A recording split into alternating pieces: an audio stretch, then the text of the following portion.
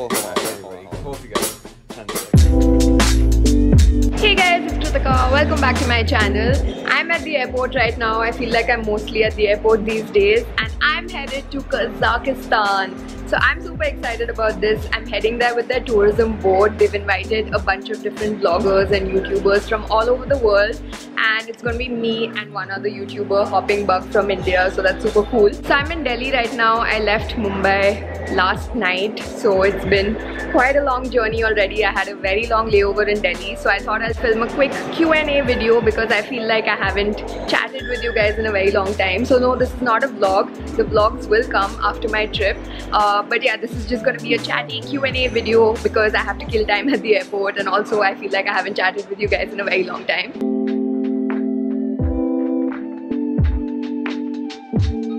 I'm literally finding very random spots at the airport to film. Uh, so I posted a story on Instagram. If you're not following me, follow me there. And uh, asking you guys to send in your questions. I'm just gonna do a bunch of questions here, then get some food and answer a few questions along my entire journey to Kazakhstan. So let's get started. So yeah, there are a lot of questions in here. I'm gonna answer them in random order because there's so many of them. A lot of questions are about what my next destination is. So quick update on my travels. I just got back from Czech Republic. That was such a fun trip and now I'm headed to Kazakhstan for about 9 or 10 days. So I know I haven't been posting too many travel vlogs on my channel but it's just because I've been traveling so much. So I have a lot of unedited videos. I'm gonna sit and edit them after Kazakhstan. Uh, but yeah, Kazakhstan next. What difference has it made moving to Mumbai? So if you watch my video on why I moved to Mumbai, there were a bunch of different reasons. One, it was very difficult to travel from Vellore. Firstly, I actually never, I used to live in Mumbai for like four years and I only left temporarily because I thought uh, it made sense to save money on rent because I was just starting off on YouTube. So my plan was to just like go back home for six, seven months and then move back to Mumbai. That ended up being like a year. So my plan was always to move back to Mumbai because uh, I have friends here, I have a life here and it's a nicer city to be in uh, in terms of my work and career. But yeah, one of the major reasons I moved was traveling was getting so difficult from Vellore. Literally each time I would leave Vellore, I would have to combine three, four trips. So this one time I had to do Ladakh, Goa, Jaipur. So I was carrying clothes for like all of those places and it just gets difficult to work like on the go so that was one big reason. And yeah it's helping me with my youtube channel as well and i feel like i'm getting uh, to attend more events and like i'm getting more work opportunities so it's pretty cool and i love mumbai. So anyway i'm gonna go get some food and then answer some more questions.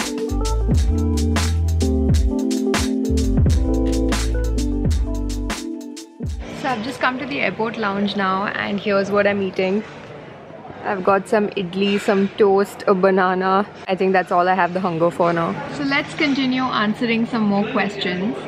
The next one is how did you edit your videos when you started and how to get rid of hesitation in public? So honestly for the longest time I didn't start YouTubing because I thought editing was very complicated and like I didn't know how to edit but uh, yeah there is a bit of a learning curve involved. You have to learn how to edit the basics at least. I started with that. And if you look at my initial videos there's like very basic editing. I think that's all you need to know when you're starting. And there are a ton of free tutorials online. So that's literally such a good place for you to start. So that's how I started.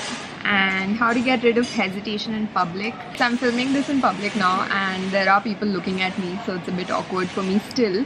Uh, but I think with practice you just have to force yourself to do it. Uh, once you do it a few times you get used to it. Now I don't really bother as much but uh, yeah it just comes with practice. Do you make money from traveling? Yes, I do sort of make money from traveling. I did a whole video on how I make money, so I'll leave a card over here. You can go check that out. How do you manage to get sponsorships for traveling? How can a common person get that? So I don't think a common person can get sponsored trips because the tourism boards and brands that sponsor my travels uh, they do it because they're getting value out of it and uh, I'm providing content and I'm like reaching out to my audience so if you can provide some kind of value to them only then I think you will get a sponsored trip because no one's giving out free trips here.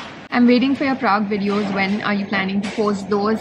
I had such a good time in Czech Republic. I can't wait to share those videos with you. Honestly, I got back from Czech Republic. I had two days in Mumbai and now I'm leaving for Kazakhstan. So I've literally not had the time to edit any of my videos. So as soon as I'm back from this trip, uh, I'm gonna start editing those videos and upload them. And I'm planning not to travel anywhere in September. Let's see how that goes. Where is your pastel blue handbag from and which brand? Just love it. I actually have that bag here with me, this one. And it is such a nice bag. It, it was so inexpensive. I got it from Miniso and I think I got it on sale for like 300 or 400 rupees.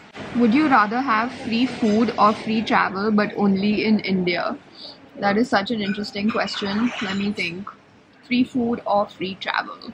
I feel like this question should be easier to answer, but it's such a difficult question. But I think I'm gonna say free travel. So the next question is, please, how do you edit your photos? I love them. Thank you so much. I edit using this app called Lightroom. Uh, so I have the paid version, but the free version is good enough as well. I keep saying I'm gonna post a video uh, explaining how I edit my photos, but I just haven't had the time to do that. So I promise in September when I'm not traveling, I'm gonna film all those videos. What camera do you use to vlog? So right now I'm using the Canon G7X Mark II. Uh, which is what I primarily use for my videos but I also have the Sony a6500 which is a mirrorless camera. Okay I'm just gonna finish my meal now and head to my gate because I think my flight is about to start boarding so I'll answer the remaining questions in a bit.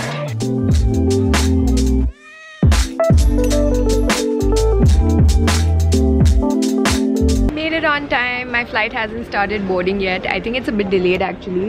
That's my gate. And yeah, everyone's just waiting and man you have to walk so much in this airport but anyway let's get back to the Q&A now Hey Kritika, could you give me some info on how you carry your drone to different countries? So funnily enough, today I actually faced some issues with my drone batteries. So usually I check in my drone and I carry the batteries in my uh, hand luggage. But today uh, the guy at the security check was just not letting me carry those batteries and I literally had to beg him to take them. Uh, so I had this issue in Mumbai, in Delhi, they were fine with it. So I don't know. I've never had this problem before. But I don't think I'm the right person to be answering this because my drone is also like a very small drone. It's the DJI Spark. So I don't think there are any issues carrying that. But if you're carrying a bigger drone, you probably need permits and stuff. Want to know what your Instagram activity time is? Okay, I actually don't know. Let me check. Mm, this is interesting. This might be embarrassing. So on Instagram, it says my daily average is 2 hours 39 minutes, which I suppose is not so bad because Instagram is also my job. But yeah, that's just my excuse to use Instagram. We know you love traveling so much, so is there a feeling of homesickness that creeps in? Yes, that happens a lot of times. In fact, right now it's at its peak, and I really honestly didn't even feel like going for this trip because I'm so exhausted from my last trip but uh, then I just had a pep talk with myself and I realized that I should just be grateful that I'm getting all these opportunities. It's so cool that I'm getting to travel so much uh, and explore different countries that I'd never thought of visiting like Kazakhstan. So yeah I'm just grateful for it but of course I do feel homesick. So next month I'm planning to just like be in Mumbai uh, and I miss my family too but I'm gonna see them in October I think so that should be nice could you visit more places in India and tell us more about vacation places within India. So I answered this on my Instagram as well. But the thing is, I have traveled so much within India. Of course, there's a lot left to see. Uh, but ever since I was a kid, I've been traveling and I think I've covered like 22 states. So a lot of northeastern states are left and I still haven't been to Madhya Pradesh, which I've heard is beautiful, and a couple of other states. So I do want to visit those places, but I don't feel like visiting places I've already been to just for the sake of making YouTube videos. Uh, so I wish I'd started vlogging much earlier, but uh, vlogging wasn't a thing when I was a kid. So yeah, I don't think that's gonna happen anytime soon unless like I get invited for a trip or something like that. Okay, I'm gonna do one last question because my flight is about to start boarding. How do you manage with your period when you're traveling? This is such an interesting question and funny because I literally got my period today and uh, it does get difficult and I have to go trekking in two days so good luck to me but uh, yeah i feel like it usually ends up happening when i'm traveling and i just try to keep my schedule light for that day. Uh, but it's not always possible like on this trip. So yeah i don't really have a good answer for that. I've just gotten used to it i think. Also three four months ago i started using menstrual cups and they've been such a life changer because they've made traveling and just like your whole period time so convenient. So uh, yeah. Sorry if this is tmi but yeah i thought this was an interesting question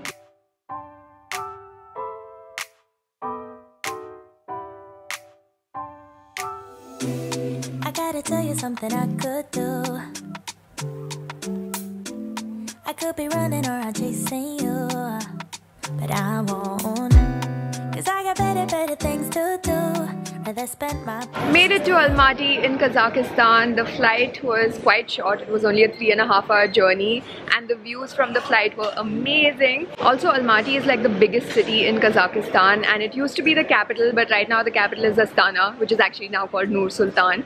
So anyway, just waiting for my luggage. The immigration was a bit intimidating because the language here is a barrier uh, but yeah, everything happened smoothly. So I'm just waiting for my luggage now. This is such a tiny airport. It's so cute. Also, as soon as I landed, it started pouring and it's so cold outside. I'm not carrying any proper winter clothes because I checked the weather online and it didn't seem to be very cold. But today it's quite a cold day. Also, I totally forgot this was a Q&A video. I'm so used to vlogging that I just started vlogging. But I guess this could be like a mix of Q&A and vlogging. So yeah, waiting for my luggage. There's no Wi-Fi here and my phone doesn't have any internet right now because I haven't activated international roaming. So I hope the people who have to come pick me up, I just find them and everything goes smoothly. So got out of the airport, it's still raining and Aigul here came to pick me up. She also got me a gift, thank you so much. So yeah, we're just gonna head to the city now. If I got a dollar for every time you slam the door, I would be the richest girl alive. Life, life. Checked into my room and I have all this space to myself. So now the sad part is we're not really in Almaty for too long. Almaty wasn't really part of the itinerary and we're just here for the night. So basically uh, there are around 30-35 bloggers and YouTubers and Instagrammers on this trip and they've divided us into different groups and each group will tour a different part of Kazakhstan. So my group is touring the southern part of Kazakhstan, basically Turkestan and Shymkent and then we'll all end our trip in Astana uh, where there's a two-day blogger event so unfortunately won't be able to see Almaty but it's only 6 p.m. now so I think I'm just gonna go out and take a stroll and uh, see the city a little bit to get the feel of it. This is the view from my room and it looks like it stopped raining although I can't really tell and wait oh my god those are snow-clad mountains I think Wow, that is insane. I can literally see snow-clad mountains from my room. So I'm dying to head out now. I'm just gonna check if it stopped raining. Also, for this video, I have a few more questions I need to answer. So let's get to that now quickly. Okay, so where were we? Five must-go places in the world that you've been to. Loads of love, Ria. Thanks, Ria. So, uh,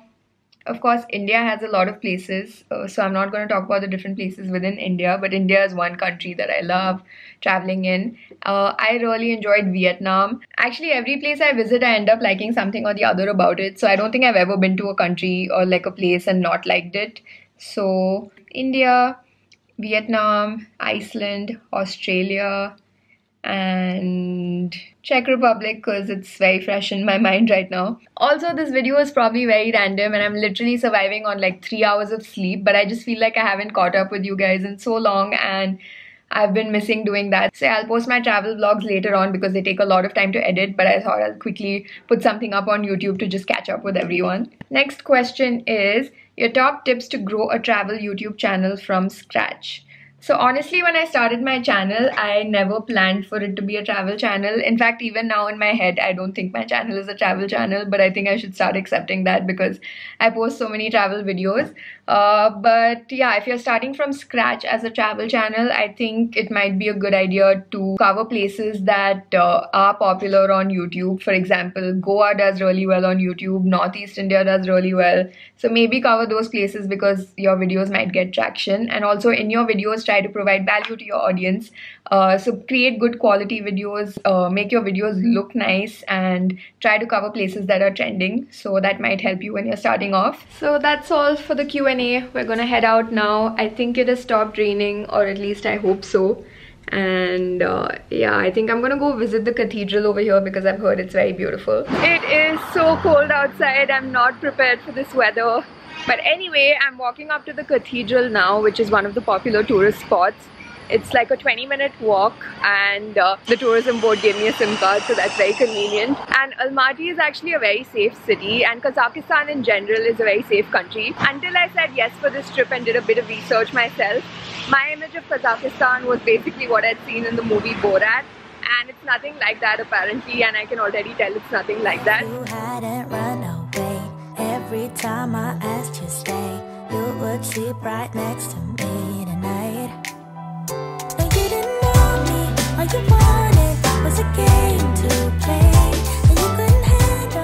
So first impression of Kazakhstan, it's honestly nothing like what I expected it to be. Almaty is such a modern city, it's so beautiful, so many youngsters here, so vibrant. The music here is great, I can hear music in a lot of cafes, lots of cute cafes also. And uh, yeah, it was just not something I expected. I'm quite impressed with the city already, even though I've just been walking around for like 15-20 minutes now. In the beginning I just didn't know also, a little fun fact about Kazakhstan. It said that apple cultivation started in Kazakhstan first and from here it was sent exported to other parts of the world and now it's available everywhere. So Almaty is where apple cultivation is said to have started and Alma literally means apple. So I think Almaty means land of apples. So I thought that was really cool. Finally made it to the cathedral and oh my god, look how beautiful this is. Now I know. Cause you did everything to prove me wrong. You were not the guy I thought. Now I'm beating you at your own. Yeah. If I got a dollar for So cute. Say hi. Say hi. Say hi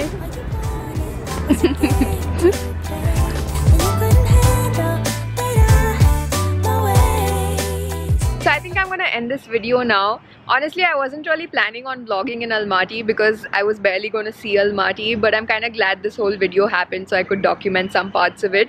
Also, this video is I know very random. Q&A bhi hai, vlog bhi hai but I hope you enjoyed it.